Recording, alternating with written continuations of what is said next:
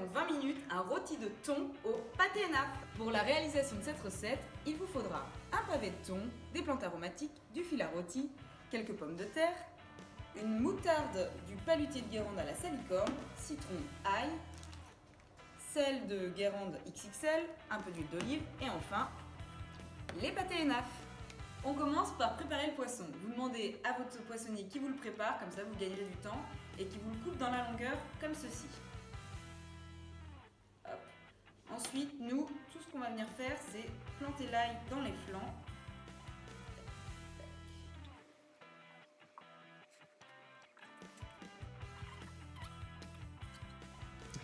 Vous prenez votre plateau, on met un peu d'huile au fond,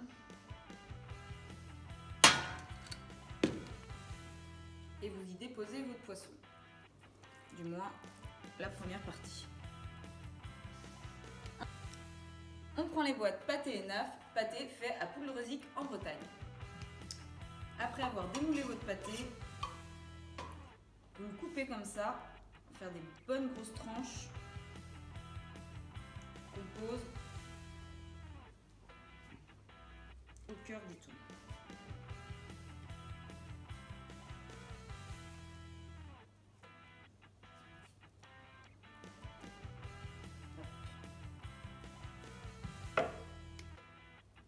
Avez disposé les tranches de pâté, on recouvre avec le thon. Opération délicate, un peu de couture, on ficelle le rôti.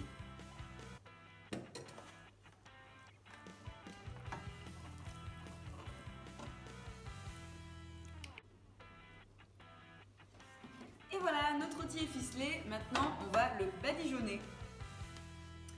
Pour assaisonner le rôti, vous prenez un citron, de la moutarde du paludier de Guérande à la salicorne, un peu d'huile d'olive et enfin du sel XXL poivre et.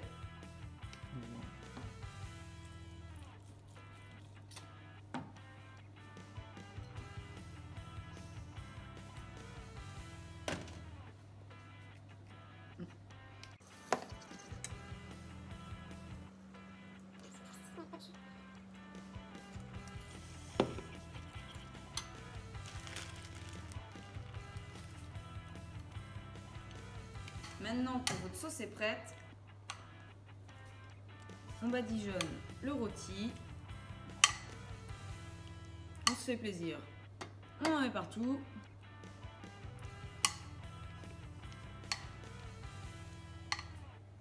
Une fois vos pommes de terre coupées en petits cubes, vous mettez un trait d'huile d'olive et la fin de la sauce moutarde